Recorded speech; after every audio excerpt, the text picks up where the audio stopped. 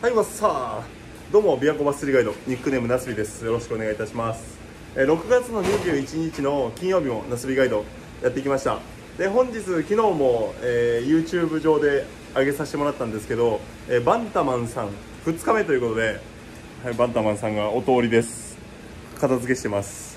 はい、えーバンタマンさんに遊びに来ていただきました。で、昨日北で、あのーサーフェス、サブサーフェス、まあ、IG プラグを中心とした、まあ、ビッグベイドも使ったりとか、そういうので、えー攻めていったんです。はい、バンタマンさんが通ります。はい。えーすまあ、IG ルアーを中心として、北湖で、えー堪能していただいて、で、今日はね、結構風が強い予報、そして雨もね、えー強くて、えー何個を選択してやっていきました。で、えーまず、放流量300トンかな。前回にはなってないんかな、ちょっとまあまあわからないんですけど、え結構ね、まあ、流れが強い今、何個なんですけど、まずあえてアウトサイドエリアのエビモエリアから入って、まあ、流れが強い時って結構ね、浮き上がりにくくはなってくるんですけど、もちろんその日その日に適切なルアーを選択していくっていうのがバスフィッシングの面白さでもあるんですけど好きなルアーを投げ続けるっていうのもバスフィッシングの面白さですのでえバンタマンさんは後者のタイプなのでそういうのを中心にサブサーフェイスを今日も中心としてやってきました。でわざとアウトサイドエリアのエビモから入ったんですけど、まあ、あのそこをえアウトサイドのちょっと自分の得意としているスポットがあって、えそこで出るか出ないかっていうのを確認したくてでしっかりと僕はフローティングミノを使ったり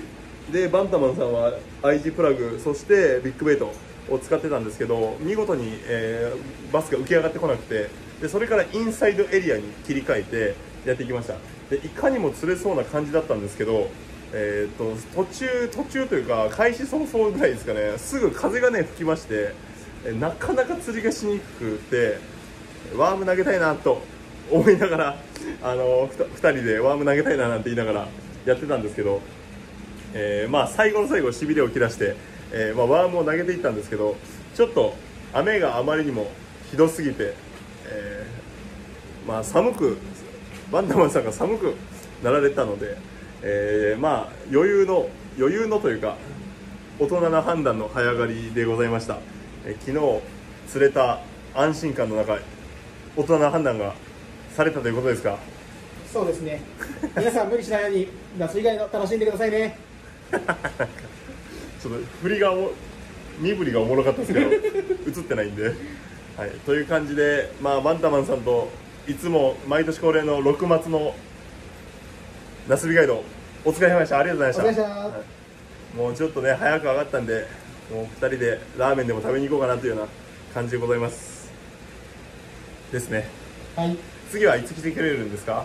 えっ、と9月に来る予定にします。はい。6月9月次は？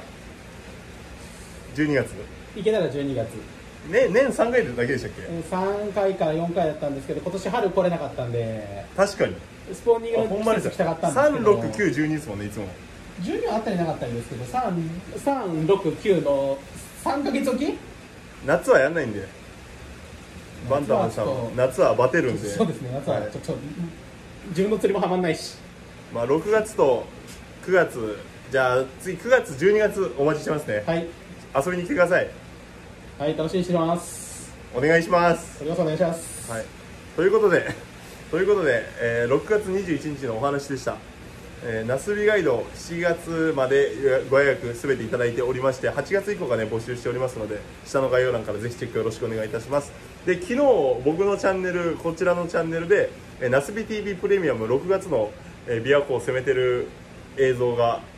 昨日アップしたんですけどえリバウンドスティックでリバウンドスティックを使った釣り方を紹介しておりますのでぜひそちらも、えーご視聴していただけると嬉しいでございます。というわけで皆様本日も最後まで聴いていただきありがとうございました。